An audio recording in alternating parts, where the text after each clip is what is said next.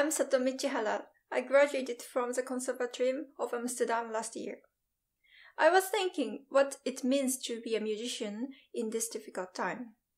In this respect, I would like to quote the English philosopher Roger Scruton. Beauty matters. It is not just a subjective thing, but an universal need of human beings. If we ignore this need, we find ourselves in a spiritual desert. Beauty has no practical utilities, but it redeems our soul, and I believe it is needed in this difficult time. So it's my mission to bring the beauty in music as much as possible to my audience.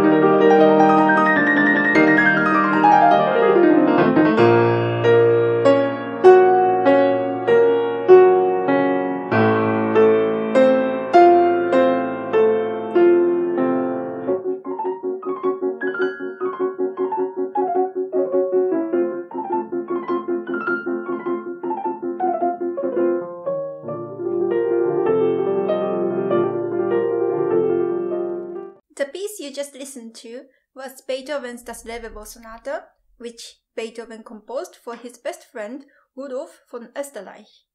Rudolf had to escape from Vienna because Napoleon was invading. The feeling of having to say goodbye and not being sure when to see each other again, and the pure joy of seeing again each other are reflected in the sonata. And I think surely we can overrate ourselves to that in this difficult time. I will start my concert with a Japanese composer's magnificent work, Unveil. The composer's name is Akira Miyoshi. It was composed in 1980. Then I will play two sinfonias from Bach, number 7 and 13. Both are written in minor keys, but I always see the underlying hope and it inspires me a lot. I will also play Debussy's Reflections in the Water from Image Book 1 and its colorful and marvelous piece. I will finish my concert with Liszt Transcendental Etude number 12, Chasse-neige. I feel the solitude of somebody who is totally lost in the snowstorm in this piece. And it's one of my favorite pieces from Liszt. I'm very looking forward to seeing you in the Naarden Piano Festival.